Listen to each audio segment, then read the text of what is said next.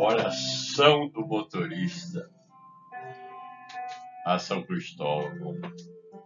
Ó Senhor, por intercessão de São Cristóvão, padroeiro dos motoristas, dai-nos firmeza e vigilância nos muitos caminhos da vida em busca do trabalho, lazer, felicidade e realização.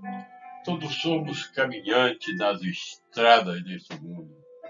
Acompanhai-nos constantemente para chegarmos ao destino sem acidente e contratempo. Protegei o Senhor os motoristas que conduzem os modernos meios de transporte, que eles possam ser guiados pelo vosso Espírito e assim hajam com sabedoria e respeito à lei do trânsito. Protegei, ó Senhor, aqueles que caminham conosco e ajudai a respeitar todos, pedestres e transeuntes, agindo sempre com prudência.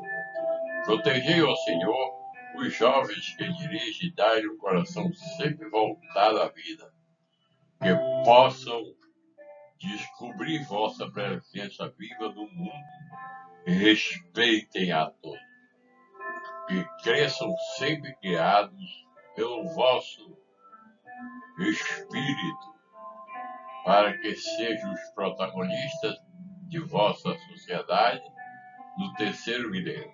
Confortai, ó Deus, as famílias que perderam as pessoas queridas, vítimas de cruel trânsito brasileiro, dai-lhes a esperança necessária para viverem em vossa presença sem condenação ou que possamos, Senhor, descobrir